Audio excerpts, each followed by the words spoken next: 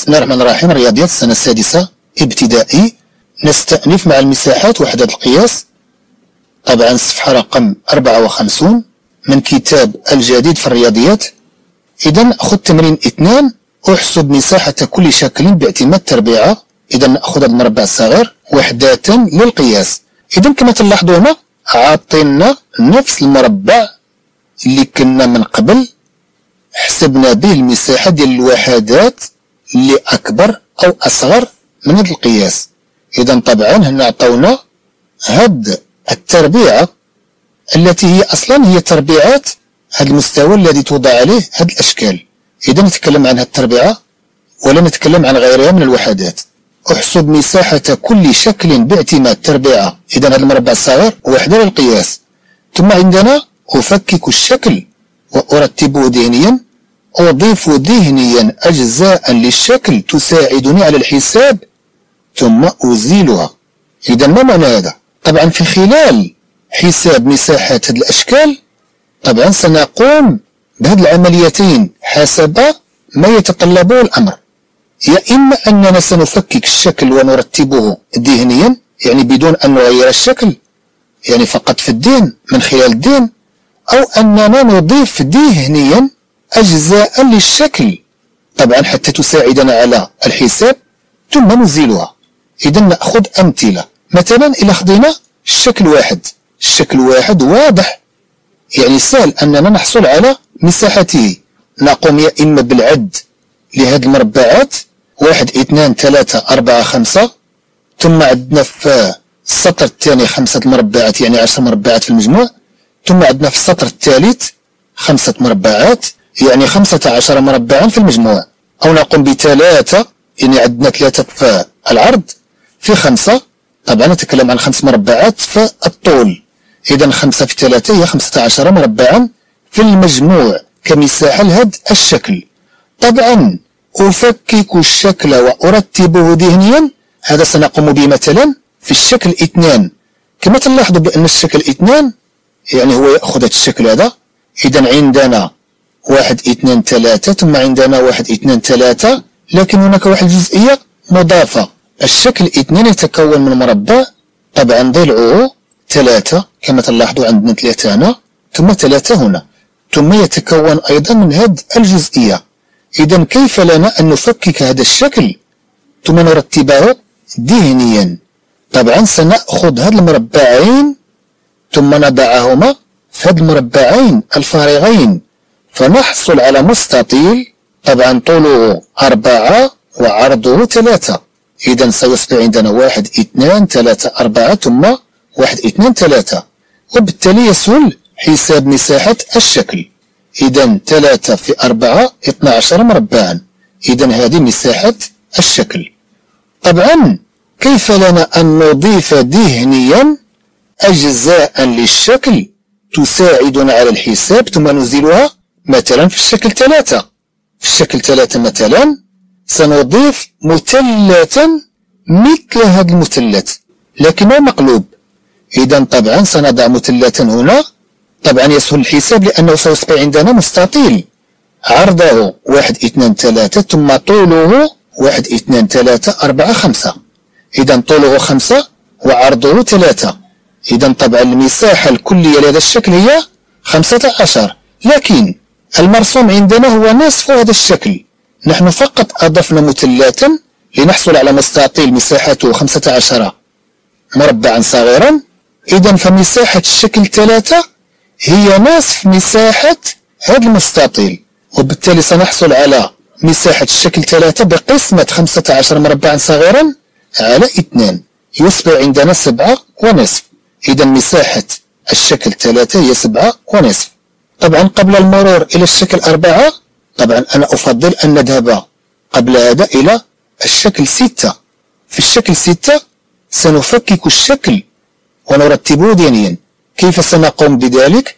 طبعا سنقتطع هذا الجزء. ثم نضعه هنا. سنقتطع هذا الجزء. إذا نفس هذا الشكل هو نفسه الموجود عندنا في الفراغ هنا. وبالتالي سنحصل على شكل جديد بنفس المساحة. لكن الأبعاد ستسهل شيئا ما. إذا غتصبح عندنا ثلاثة في خمسة. عندنا في الأسفل واحد اثنان ثلاثة ثم في الطول واحد اثنان ثلاثة أربعة خمسة. إذا ثلاثة في خمسة هي خمسة عشر مربعا صغيرا. ثم ننتقل إلى الشكل رقم أربعة. طبعا الشكل رقم أربعة غنضيفولو وغنجزئوه إلى عدة أجزاء. باش نحصلو على المساحة ديال الشكل. طبعا أولا غناخدو المستطيل اللي تيتوجد فيه هذا الشكل. كما تلاحظوا بأن المساحة ديالو تلقاوها من خلال ستة في خمسة. تلقاوها بستة في خمسة. واحد اثنان ثلاثة أربعة خمسة ستة. ثم عنده في الأعلى. واحد اثنان ثلاثة أربعة خمسة. إذا خمسة في ستة ثلاثون. هاد الشكل هذا تتوجد ضمن مستطيل كما قلنا للمساحة ديالو ثلاثون مربعا صغيرا ستة في خمسة. الآن غناخدو هاد الجزئية اللي في الأسفل. الطول ديالها ستة. واحد اثنان ثلاثة أربعة خمسة ستة ثم في العرض ديالها واحد. إذا طبعا غنحسبو هاد الفراغ اللي بقى على برا. باش في الآخر غنحذفو الفراغات من هاد المستطيل اللي تتوجد ضمنه هاد الشكل شكل أربعة. إذا أولا عندنا ستة كما تنشوف هاد الخط اللي في الأسفل كما تنشوف هاد الخط المائل هو يقسم هاد المستطيل اللي الطول ديالو ستة على واحد تيقسمو إلى اثنان عندنا جوج المثلثات. إذا طبعا غنشوفو هاد الفراغ. إذا أكيد أنه ثلاثة مربعات. إذا غنخليوها ثلاثة جانبا. ثم نأخذ الجانب على اليسار. إذا طبعا عندنا مستطيل الطول ديالو واحد اثنان ثلاثة ثم العرض ديالو اثنان. إذا اثنان في ثلاثة هي ستة. طبعا غنقسمو على اثنان غتعطينا ثلاثة. إذا المساحة ديال هاد الفراغ هذا هو ثلاثة مربعات ثم ننتقل إلى المساحة الأخرى اللي على اليمين. طبعا عندنا ثلاثة في اثنان نفس الشيء. المساحة الفارغة هي ثلاثة مربعات ثم غناخدو هاد الشكل اللي في الوسط. طبعا تيتكون من جوج مربعات على مربع. ثم غيبقى عندنا هاد الجانب الآخر لكل فراغ إذا واحد اثنان ثلاثة أربعة. في اثنان هي ثمانية مربعات. إذا المساحة ديال الفراغ ككل لداخل هاد المستطيل اللي المساحة ديالو ستة في خمسة. طبعا يبقى لنا أن نجمع مساحة هاد الفراغات. عندنا ثلاثة زائد ثلاثة زائد ثلاثة. المجموع هو تسعة. زائد واحد عشرة. ثم نضيف لها هذا الفراغ الآخر الذي مساحته ثمانية. إذا فيكون المجموع هو ثمانية عشر مربعا فارغا. إحنا الآن حسبنا الفراغات اللي خارج هذا الشكل. إحنا الآن حسبنا الفراغات اللي خارج هذا الشكل. الآن نحسب مساحة الشكل. سننقص 18 مربعة من 30 ماذا سنضع؟ 30 ناقص 18 إذا فتكون مساحة الشكل هي 12 مربعة. مربعا صغيرا. إذا هذه مساحة الشكل أربعة. ثم ننتقل إلى الشكل رقم خمسة. طبعا سنقوم بنفس العملية تقريبا. الشكل رقم خمسة كما تلاحظوا أنه توجد ضمن واحد المستطيل اللي طول ديالو. واحد اثنان ثلاثة أربعة خمسة ستة. على واحد اثنان ثلاثة أربعة خمسة ستة. أنه توجد ضمن مربع للحرف ديالو ستة.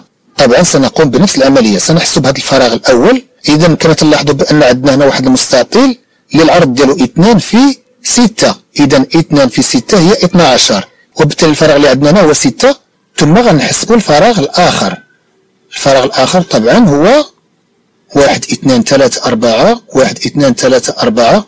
إذا عندنا هذا المربع هذا. كما تلاحظوا النصف ديالو فراغ.